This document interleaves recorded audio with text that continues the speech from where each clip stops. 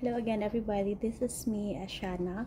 Uh, we have a job uh, scheduled for interview tomorrow. Um, this is a sheet metal painting and uh, welding. So we're looking for three people for this.